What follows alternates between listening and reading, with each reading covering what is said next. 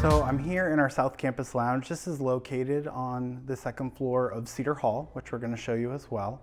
Uh, and so with this, like this is open to all students who live on the south side of campus. So whether you're Stonewall, Willow, Maple, or yes, Cedar, you have access to this area. In here, there's foosball, air hockey, multiple pool tables, um, and just a place to sit and hang out, do work.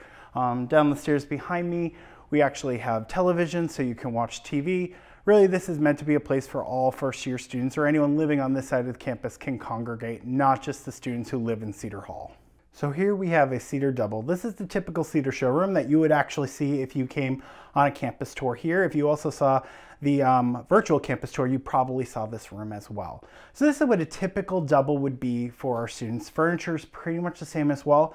We also have built-ins just like we do with Willow Hall. So these are built-ins with closets and drawers. Um, usually there's an additional set of drawers, desks, desk chairs, and obviously bed. So we are in a typical cedar bathroom.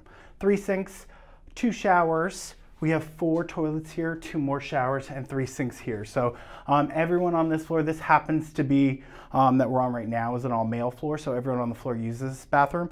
But on any floor, usually it's co-ed, so there is a restroom like this for males and a restroom like this for female identified students. Each of the buildings have an RA staff of 12 to 15 RAs to work with our students. Um, and we're here to help and answer any questions you have, but also support you the best we can while doing academic and social experiences for you. Um, if you have any questions, please feel free to reach out to admissions as well as the Department of Residence Life and Housing. This is Danny DiCamillo signing off.